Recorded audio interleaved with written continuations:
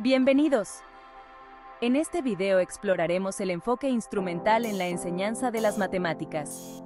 Veremos cómo las herramientas tecnológicas no solo facilitan la resolución de problemas, sino que también transforman nuestra comprensión y aprendizaje de conceptos matemáticos.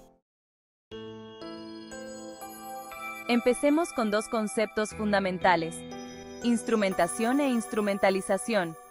Instrumentación se refiere a cómo los estudiantes adoptan y adaptan una herramienta para resolver problemas matemáticos.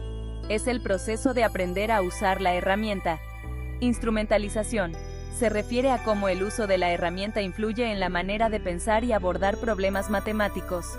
Es el impacto de la herramienta en el aprendizaje.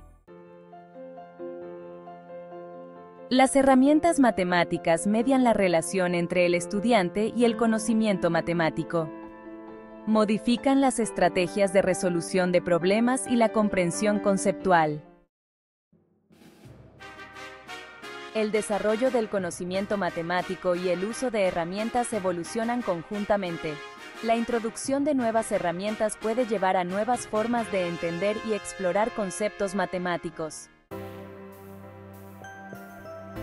Los docentes deben seleccionar herramientas que no solo faciliten la resolución de problemas, sino que también promuevan una comprensión profunda de los conceptos matemáticos.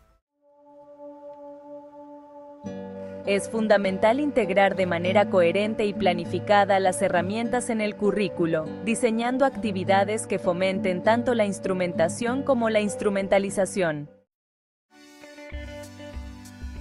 Los docentes deben desarrollar sus propias competencias digitales para poder guiar eficazmente a los estudiantes en el uso de herramientas tecnológicas. Es importante evaluar cómo las herramientas utilizadas afectan el aprendizaje de los estudiantes, realizando ajustes según sea necesario para mejorar los resultados educativos. El enfoque instrumental nos muestra cómo las herramientas tecnológicas pueden enriquecer y transformar la enseñanza de las matemáticas. Al adoptarlas de manera efectiva, podemos crear experiencias de aprendizaje más significativas y profundas para nuestros estudiantes.